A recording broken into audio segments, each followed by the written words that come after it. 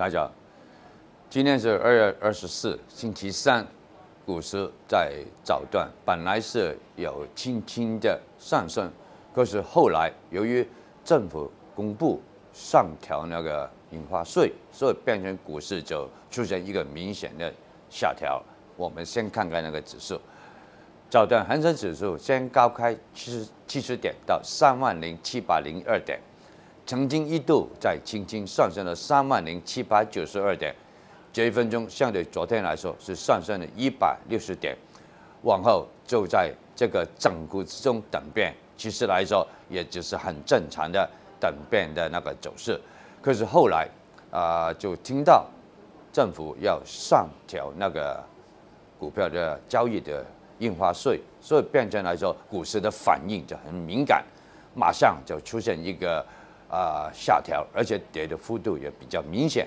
今天来说，到目前大概是三点二十五分左右水平，指数最低见过两万九千五百三十二点。相对昨天的收市来说，这一分钟是大幅度下调一千一百多点，也可以说不单指十天线失守，连二十天线也失守。当然，从技术上来看，这个是真的是不太好。现在大概在两万九千七百点左右水平，肯定一点就是十天线已经失守了。明天是这个月期指结算，会不会有一点反弹？我们还是要看看。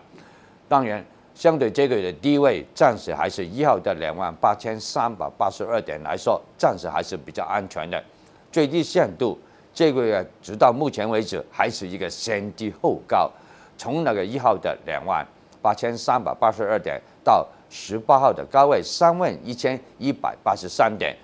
这个累计的升幅有两千八百零一点。本来股市一直在高台整固等变的，可是现在由于啊印花税上调，所以变成来说啊，做成股市出现一个明显的下调。从那个三万一千一百八十三点到今天暂时最低的指数两万九千两万九千五百三十二点，算起来已经差不多。回调了这个月升幅的一半有多了，所以基本上可以说，啊，这个月就算是能够维持一个先低后高的走势，可是暂时的情况的，我想在月底之前，大家也不要抱着太大的憧憬。当然，股市在大幅下调之后，可能还是会有一点点的反弹的，可是这个反弹只是有波幅而没有升幅，有反弹而没有大升。对一些短线炒卖的投资者来说，可能是幅度不会太多，反而我们要留意，在高台其实股市一直维持在三万点以上已经一段时间，突然之间下调到两万九千五到两万九千七，等于说在高台上面抓获的投资者，大部分现在都是亏损的，尤其是啊一批新经济相关的股份，所以要博一些。短线的炒卖的反弹的话，我想暂时还是等一下，怎么样也需要一定时间去消化的了。再看看这个月有没有更高指数，基本上那个机会是，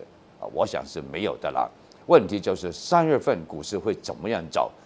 说真的，要是在两万九千多这个水平，在三月份开始的话，反而我觉得也不是一件太坏的事情。最低限度。在一个比较低的水平开始的话，有机会再发展成为一个先低后高的走势。当然，最终还是要看看资金那个入市的态度到底是怎么样。我觉得上调印花税对股市当然是有一定的影响，可是经过今天差不多一千多点的下调，我觉得